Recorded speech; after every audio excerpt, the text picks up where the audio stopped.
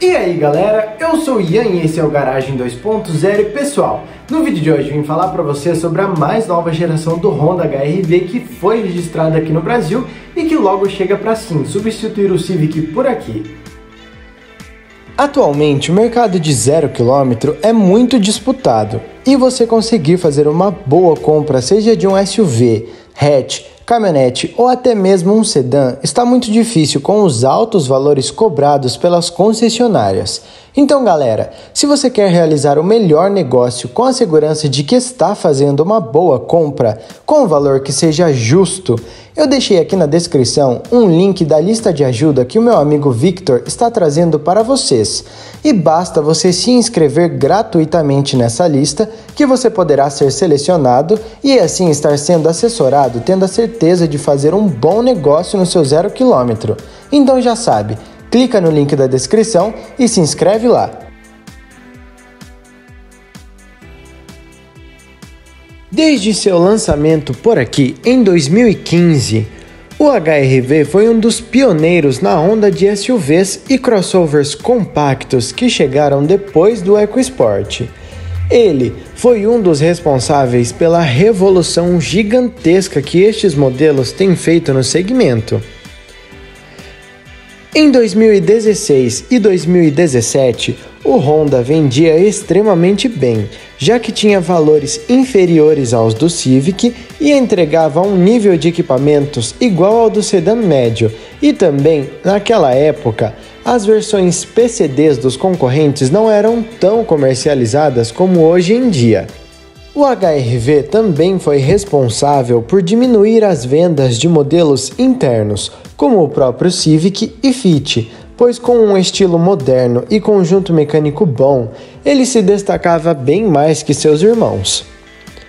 Depois da chegada de concorrentes como Hyundai Creta, Nissan Kicks, Volkswagen T-Cross e a tão vendida versão PCD do Renegade, o Honda acabou ficando para trás e, mesmo não vendendo pouco, hoje em dia ele não chega nem perto dos citados aqui, e isso que nem consideramos falar de outros sucessos, como o novo Tracker e Nivus.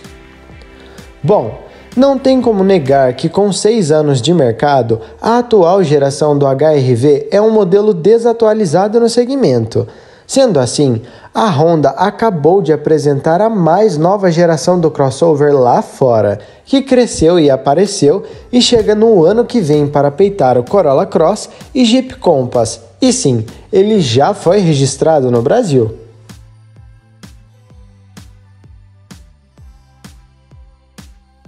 Seguindo um caminho diferente do modelo atual, o novo Honda HRV 2022 deixa de concorrer com Renegade, T-Cross e Tracker e agora ele se torna um intermediário, com dimensões mais avantajadas que ressaltam muito bem a nova silhueta de SUV que agora, assim como o Nivus, tem uma grande pegada de coupé. Como a Honda ainda não decidiu se vai realmente investir tanto para trazer o novo Civic para o Brasil, afinal, os sedãs médios já não fazem mais sucesso e o estilo em geral da nova geração do Civic não agradou. As chances do novo Honda HRV de segunda geração substituir o sedã por aqui são grandes, agora que ele ocupará a mesma faixa de preços do Civic. A plataforma utilizada pelo novo HRV na Europa é exatamente a mesma do Civic, e uma curiosidade é que na Ásia ele é chamado de Vezel. A atual plataforma é bem sofisticada, com aços de extrema rigidez que deixam o veículo mais seguro. Em dimensões, o novo Honda HRV está bem maior, medindo 4 metros e 40 centímetros de comprimento, basicamente a mesma coisa de um Jeep Compass, são 2 metros e 64 de entre-eixos, 1,79 de largura, 1,59 de altura, pesando 1.350 quilos e comportando até 430 litros de bagagem no porta-malas. No visual, o novo HRV está mais limpo e moderno, e assim como a nova geração do Civic, é mais sóbrio. Na frente temos grade integrada ao para-choque, aplique cromado e os faróis são full LED. Com o pacote Urban, a grade ainda pode vir com um estilo diferenciado, com fragmentos cromados. Nas laterais, o Honda entrega uma linha de cintura única que vai desde os faróis dianteiros até as lanternas traseiras. E como de costume, assim como na primeira geração, as maçanetas das portas traseiras seguem escondidas na coluna. As rodas podem vir com 17, 18 ou 19 polegadas e o acabamento é diamantado. Passando para a traseira, o SUV médio vem com spoiler integrado, aplique em black piano no para-choque e lanternas full LED com estilo 3D que se interligam no logo da marca ao centro.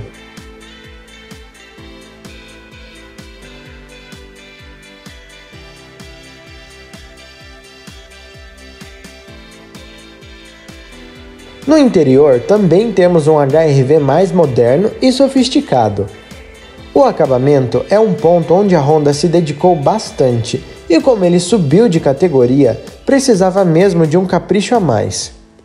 O espaço interno se mantém bom como na geração passada. Em equipamentos, ele também está mais completo e tem como destaque freio de estacionamento elétrico, auto-hold, seletor de modos de condução, carregamento de celulares por indução, chave presencial, teto panorâmico, ar digital Dual Zone, o sistema de som, apesar de não ser assinado, dispõe de 420 watts, entre outros. O volante multifuncional também é novo e o quadro de instrumentos foi totalmente renovado e agora dispõe de uma tela TFT configurável completa. A nova multimídia é um destaque, com estilo flutuante, a tela de 9 polegadas é posicionada na horizontal e vem completa com funções sem fio para Apple CarPlay e Android Auto e também temos Wi-Fi 4G a bordo, entre outros. Para a nova geração, o HRV adota um sistema híbrido na Europa, composto pelo novo bloco 1.5 aspirado a gasolina de 130 cavalos, mais um elétrico autorrecarregável. A transmissão se mantém CVT e por lá você pode optar ainda por tração dianteira ou integral. Infelizmente, os dados combinados de potência não são revelados, mas a marca revelou que ele chega a fazer excelentes médias de até 30 km com litro em cidade e 24 em estrada com gasolina. No mercado americano, o HRV de segunda geração conta com a mesma motorização do nosso, e o melhor, assim como no Civic, ele foi recalibrado. O bloco é o conhecido 1.5 turbo com injeção direta de combustível somente a gasolina, que gera fortes 180 cavalos e até 24,4 kgfm de torque, associados a uma transmissão automática tipo CVT e tração integral. O desempenho é excelente e as médias de consumo são muito boas. Em segurança, o novo HRV evoluiu muito e finalmente é páreo para competir com os intermediários atuais, como o Compass, que é muito completo em termos de segurança. O modelo já teve seus resultados nos testes de colisão revelados e ele tirou 5 estrelas tanto para a proteção de adultos quanto para crianças. De série, temos 7 airbags, controles de tração e estabilidade, alerta de colisão, frenagem autônoma de emergência e alerta de pontos cegos. Já as versões mais caras adicionam alerta de tráfego cruzado traseiro, comutação de farol alto automático, detector de animais pedestres e ciclistas, alerta de mudança de faixa, assistente de correção de faixa, piloto automático adaptativo com a função Stop and Go, entre outros. Se compararmos com o nosso, realmente ele evoluiu muito.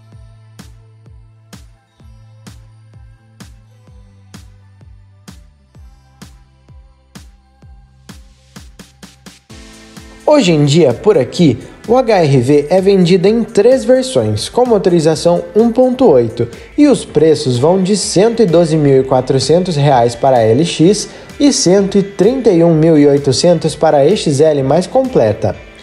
Passando para a versão topo de linha do HRV hoje no Brasil, ela é a Touring, a única que dispõe da motorização 1.5 turbo, e o valor atinge salgados R$ 157.100. E vale destacar ainda, pessoal, que estes valores são para a data de publicação deste vídeo, afinal, com a pandemia, os valores sobem todos os meses.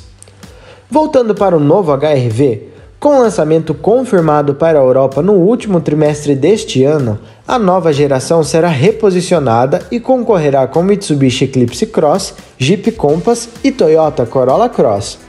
Para nós, a nova geração do Honda virá em 2022 e o melhor, ele já foi confirmado para o Brasil e registrado por aqui. E se a marca decidir produzi-lo por aqui, ele ofertará duas motorizações, sendo elas as atuais 2.0 aspirado do Civic e o 1.5 turbo do atual para as variantes mais caras. E sim, ele pode ser o substituto do Civic no Brasil, já que a Honda está descartando a possibilidade de fabricar a nova geração do Civic por aqui.